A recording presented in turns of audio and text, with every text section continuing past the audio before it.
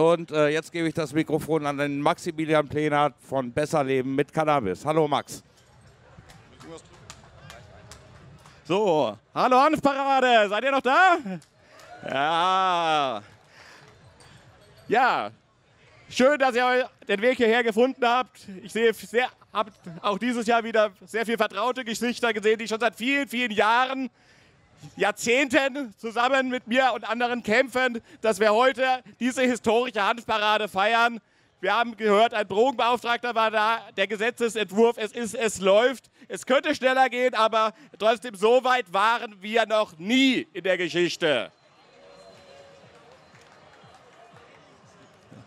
Bevor ich zu meinem inhaltlichen Punkt komme, lade ich auch nochmal alle Patienten, die es noch nicht gesehen haben, im Namen der Berliner Cannabishilfe auch in unseren Patientenbereich da drüben ein.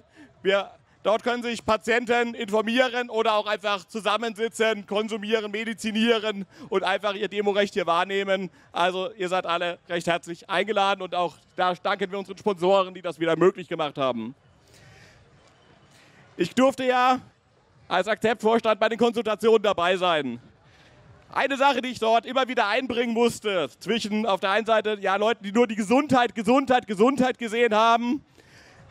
Einfach mal den Punkt, dass Cannabis ist und bleibt kein Brokkoli, aber es ist kein waffenfähiges Plutonium und wir sollten nicht anfangen, es als solches zu behandeln.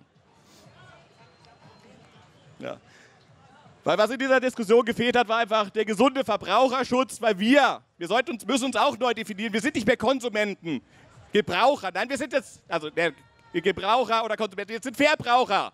Verbraucher wie ein Verbraucherschutz, Verbraucher wie ein Verbraucherrechte und diese Stimme muss rein in diese Diskussion, weil wir werden über das System abstimmen, ob es funktioniert oder nicht. Und deswegen müssen wir der Politik sagen, macht keinen Unsinn, nutzt den gesunden Menschenverstand. Wir können mit Alkohol umgehen, wir können mit Tabak umgehen, mit Chlorreinigern, Feuerzeugen, mit anderen potenziell tödlichen Gegenständen.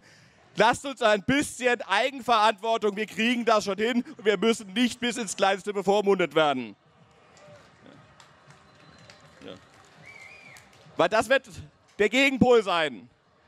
Leute, die eine Vollkasko-Legalisierung haben wollen, ab 25 nach Psychotest, keine Kinder zu Hause und nur bei Vollmond. Und dann 2 Gramm, aber unter 10% CRC. Ne? Das ist ein bisschen der Gegenpol, an dem wir uns abarbeiten müssen. Und uns ist allen klar, Klar kann man so legalisieren, aber dann funktioniert es halt nicht und das ist scheiße. Ja. Denn am Ende vom Tag muss es um eine Sache gehen.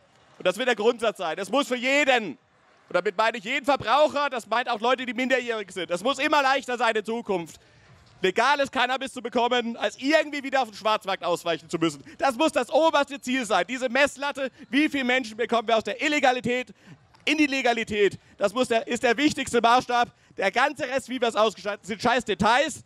Wir müssen den Schwarzmarkt abschaffen, wir müssen ihn transformieren in die Legalität. Und das muss funktionieren und das werden wir mit unseren Füßen abstimmen.